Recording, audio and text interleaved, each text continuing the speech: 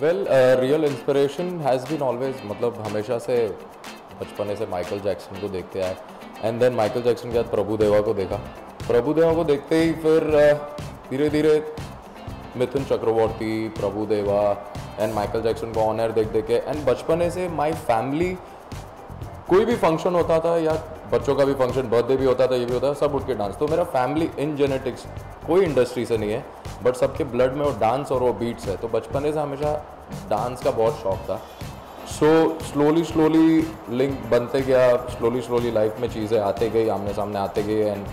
suddenly I became a choreographer journey of choreography मैं it's been it's been तीन साल के ऊपर हो गया है। और journey of choreography been amazing मतलब एक्चुअली पहला अटेम्प्ट ये होता है ना कि as an assistant choreographer I was assistant choreographer to mister Ahmed Khan he is been like a father to me and जब एक होता है ना कि uh, आपके जो गुरु है वो आपको पुश करते हैं कि जाओ आज तुम ये करो आज तुम वो करो। So it's like the day he started pushing me जिस दिन उन्होंने मुझे मतलब लीड किया कि अब तुम ये गाना कंपोज करो अब तुम इसके स्टेप्स बिठाओ अब तुम कैमरे के बारे में बोलो अब तुम एडिटिंग पे जाओ। सो so, वो चीज़ें अंदर अंदर धीरे धीरे बिल्डअप हो के देन वो एक अप्रोच वो एक वो एक पैशन रिगार्डिंग कोरियोग्राफी और वो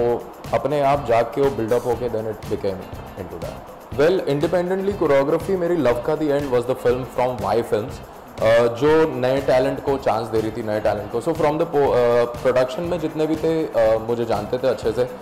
और uh, उन्होंने मुझे एज एन असिस्टेंट कोरियोग्राफर देखा सेट्स पे कैसे काम था क्या था. तो उन्होंने मुझे एक गाना दिया पहले कि यू कोरियोग्राफ दिस और उसके बारे में आइडियाज़ बताओ कि कैसा क्या करना चाहिए। वेल आई गाना सुना और मैंने पूरा अपना कॉन्सेप्ट बताया और फिर वो हिसाब से उनको वो चीज़ अच्छी लगी and then I got the first break was love ka the end from Y film मैं, मैंने जो गाना शूट किया वो काफ़ी सिचुएशनल है तो उसमें सलमान भाई का कुछ डांस नहीं है, कुछ ये नहीं है और इट्स मोर अबाउट कि जो सिचुएशन चल रहा है, वो सिचुएशन में कोरियोग्राफी वाइल्ड सिटिंग अदनान भाई कैसे कवाली परफॉर्म करेंगे और क्या कैमरा एंगल्स रखेंगे which people which you know एक चेस चेस चल रही है वो गाने में। तो वो चेस कैमरा एंगल्स क्या हिसाब से आप शूट करोगे वो करके। तो वो वेल well, वो कोरियोग्राफ करना था। एंड सलमान भाई के साथ एज पहले भी मैंने कोरियोग्राफी वाले गाने कर चुका डांस स्टेप्स सो सलमान भाई का एक स्टाइल है जो आज के ज़माने में सबको पता है। बच्चे बूढ़े जवान सबको पता है। तो जब हम लोग कोरियोग्राफी करते भी है ना तो सलमान भाई का स्टाइल दिमाग में कर, रख के करते हैं। And difficult steps obviously Salman भाई आजकल ट्राई भी कर रहे हैं कि यू नो डिफ़िकल्ट स्टेप्स भी करना है यो करना। बट जो सलमान भाई करते हैं ना वही कर रहे हैं। और वही ऑडियंस को अच्छा लगता है हमेशा कि उनका जो स्टाइल है वही हिसाब से कोरियोग्राफी होती है और फिर और कंफर्टेबल होता है उनको well I guess all the big stars mostly जब वो लोग नए लोग के साथ काम करते हैं तो हम लोग को ये डर होता है कि यार यू नो सलमान भाई है या दूसरे सीनियर एक्टर्स हैं, उनके साथ कैसे अप्रोच करेंगे, कैसे सेट पे हम लोग मिलेंगे, कैसे उनको समझाएँगे?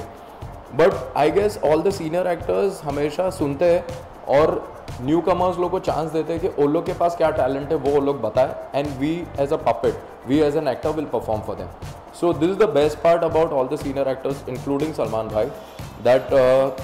उन्होंने कुछ नहीं पूछा, बस मैं क्या कर रहा हूँ, मैं कहाँ से आ रहा हूँ, मैं कहाँ जा रहा हूँ, इधर बैठ रहा हूँ, ये ये सीक्वेंस में मुझे रोना है, ये सीक्वेंस में मुझे क्या करना है। So is been always as choreographing dance steps also for him he never ask he just goes for it see my future plan is obviously getting into direction मेरा फ्यूचर प्लान यही है कि मैं एक फ़िल्म डायरेक्ट करूँ, जो पूरा मसाला रहे। And and dance academy obviously कभी मैंने सोचा नहीं था डांस अकेडमी के लिए but obviously as a side part I have a work station मैंने वर्क स्टेशन इसलिए रखा हूँ कि क्या हो जाता है कि हम लोग की फ़िल्म लाइन ऐसी है कि जब शूट हो गया शूट किया सब अपने अपने घर थैंक यू बाय बाय हो जाता है। बट मैंने वर्कशॉप इसलिए रखा हो कि मैं खुद की प्रैक्टिस होती है, हमारे खुद के ग्रुप की प्रैक्टिसिंग होती है। एंड देन हम लोग रोज़ मिलते हैं वहाँ पर, जहाँ पर डिस्कस करते हैं what is a new talent coming in what is a new style coming in